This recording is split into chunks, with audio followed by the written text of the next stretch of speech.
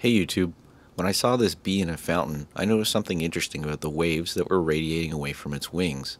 Instead of nice big concentric circles like you'd expect, there were stripes in the waves.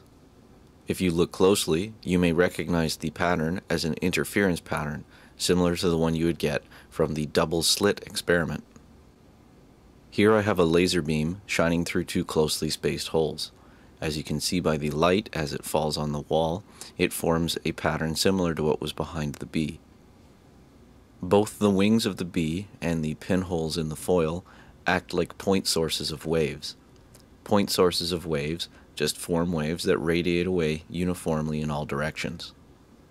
Here I have two point sources sitting on top of each other. As they separate, you'll notice that a pattern starts to occur. This is because the waves are no longer 100% in phase with each other.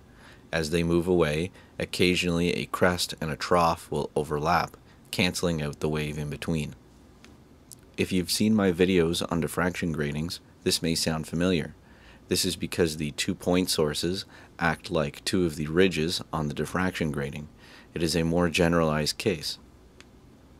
If you'd like to play with interference patterns yourself, go to falstad.com slash ripple and download the zip archive. Inside the archive, you'll find a jar file which you can run and use his Ripple Tank simulator. This is a very generalized but powerful piece of software that will let you test many different cases, similar to the ones I've shown you here. I hope you found this video interesting. If you'd like to see more like this, check out my channel. Thanks for watching.